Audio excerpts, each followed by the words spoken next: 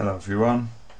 Today I've been working on adding some uh, support for the SparkFun Qwiic boards into FlowCode 9. I've created a few components. Um, I've got a component here for their RFID module which contains the ID12LA uh, RFID reader. It's a 125 kilohertz RFID reader module I've also made a component for the Qwiic joystick which includes a joystick and a digital switch. Um, lastly I've, I've adapted our SSD 1306 I2C component uh, for um, their Qwiic OLED board um, to drive that. And I've just made a, a, a quick program to demonstrate these three I2C devices working together.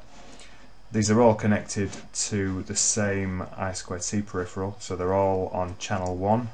I'm using an Arduino Uno at the moment, uh, but it could be anything. Uh, it could even be software I2C if you if you wish. So they're all connected to the same channel 1. In my program I initialize the three modules. I set the font scale for the graphical display. I've got a, a simple component macro to display a message uh, which basically just clears the display and then outputs uh, the string parameter to the display. I've then got my infinite loop which contains a short delay so we don't rattle around the loop too fast.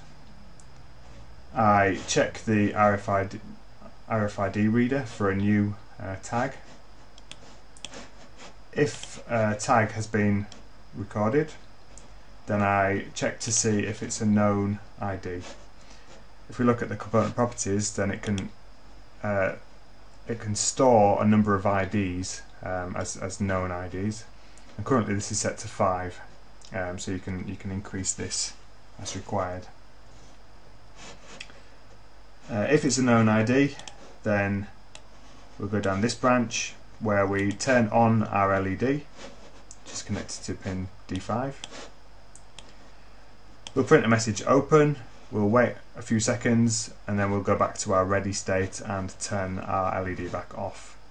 So the LED could be used for something uh, like a relay that might control a door, and then we would have access control via a RFID card.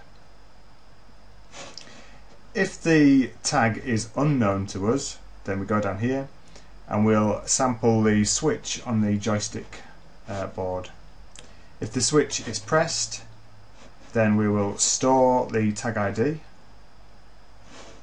in which case we will either get an OK message that the tag has been stored OK, or a fail, uh, which might happen if, if we've run out of storage locations. And then we'll go back to the ready state if the button is not pressed and we, we just get a random um, tag coming up to the reader, then we'll get the message fail and then after two seconds we'll go back to the ready state. So if I compile this program to my hardware,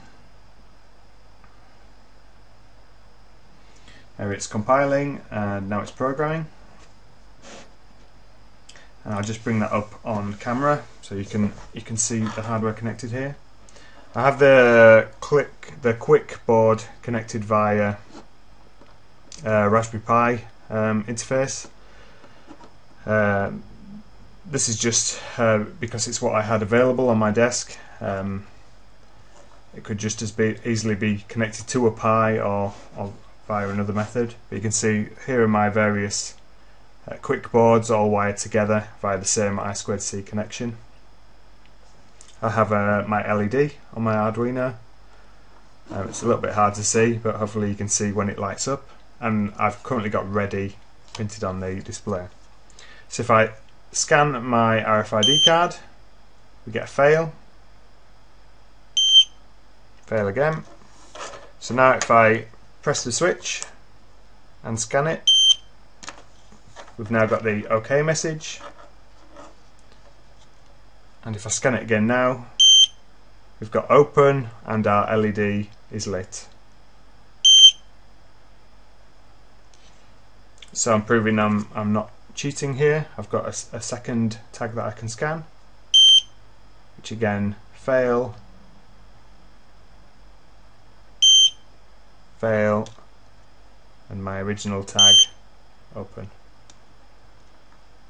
Let's store this second tag, press the switch, add it into the system, okay, and now both tags should open the door.